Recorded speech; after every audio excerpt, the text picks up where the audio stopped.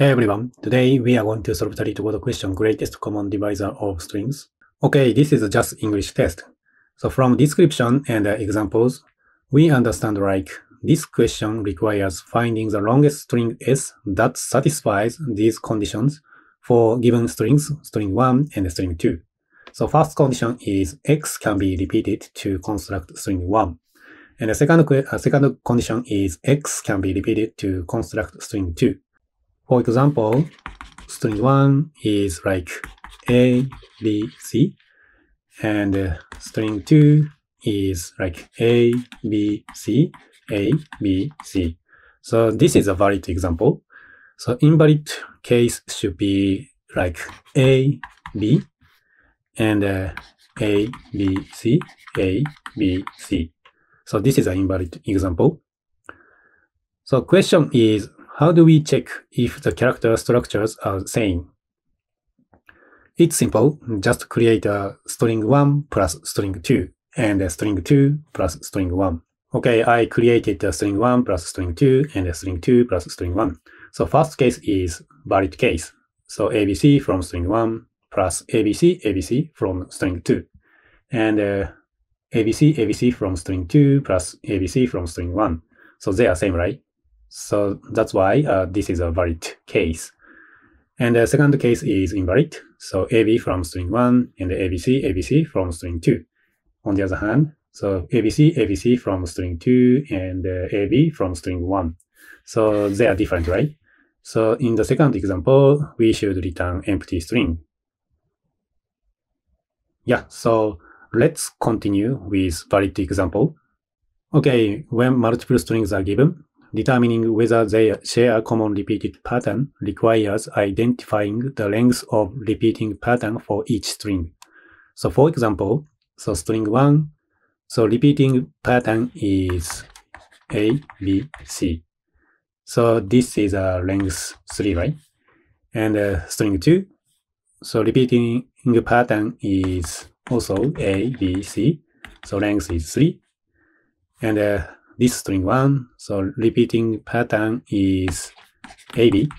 So length 2. And uh, string 2, so repeating pattern is AB.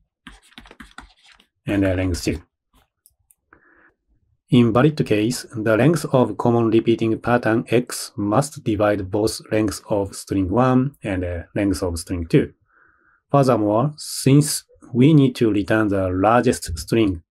We must return the string with the maximum length that divides both strings, which corresponding to the greatest common divisor of their strings. So for example, we have length 6 and uh, length 3, right? So let's call G, C, D, and 6 and 3. So that is 3, right? So that means ABC, length of ABC. And uh, second example, so greatest common divisor should be length 6 versus length 4, 6 and 4. So that is 2, right? So this 2 comes from length of AB. Okay, let me summarize the important points. First point is we have to divide both lengths of the two strings with x. And the second important point is we have to return the largest string x. So from these points, we notice that we should use GCD.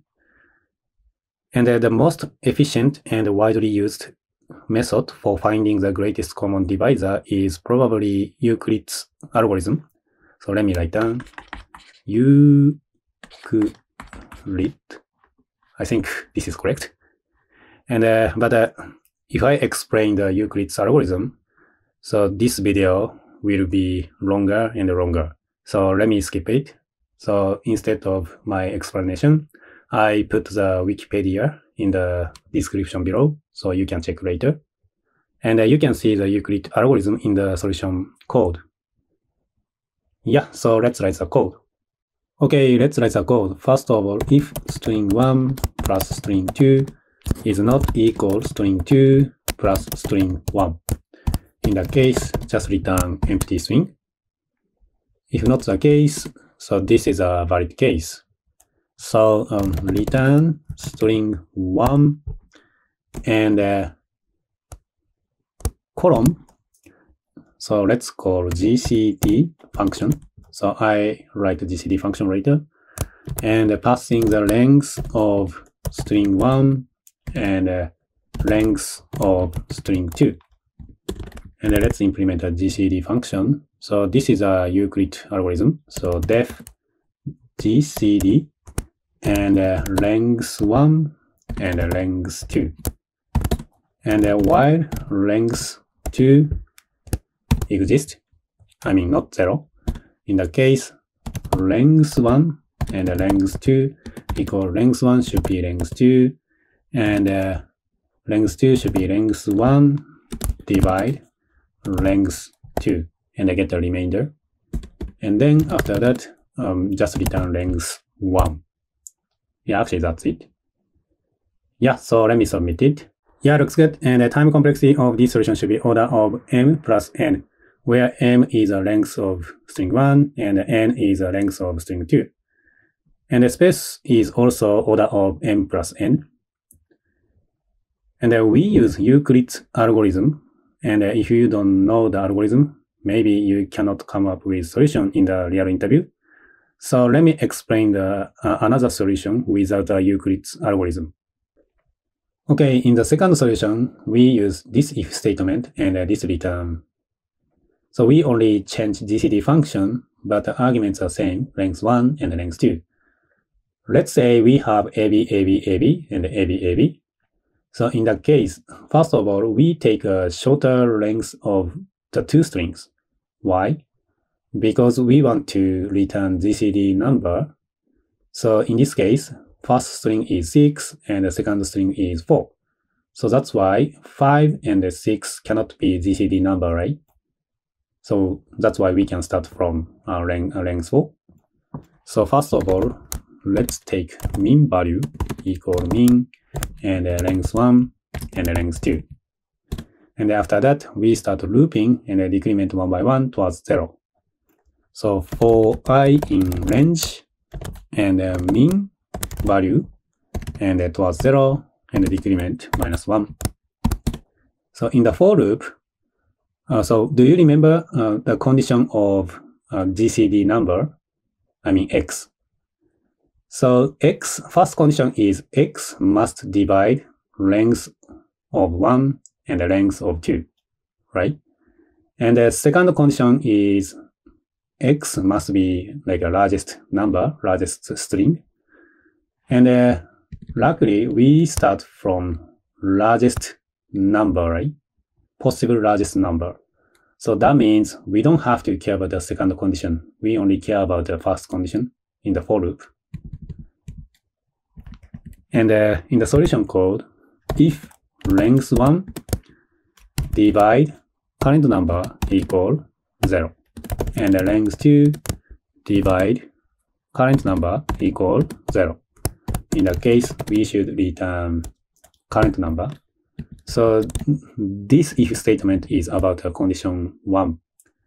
So uh, x number, in this case i, so x must divide length 1 and length 2. And uh, if not the case, just return 1. Actually, that's it. So let's check. So we start from 4. And uh, length 1 is 6.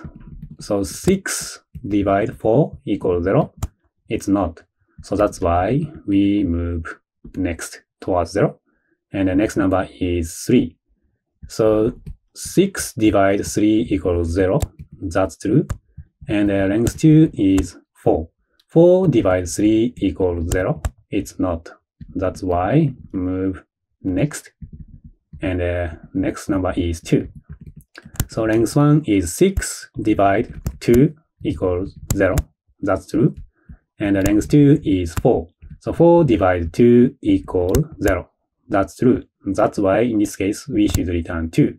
And then, so this GCD function will get 2. So that's why string 1 is AB, AB, AB. And uh, we will get index 0 and index 1, right? So that's why AB. So that's why we can return AB in this case. Yeah, so let me submit it. Yeah, looks good. And the time complexity of this solution should be, I think, the same as solution 1, order of m plus n. And the space also order of m plus n. Yeah, so that's all I have for you today. Please support me with the actions such as comment and hitting like button. I'll see you in the next question.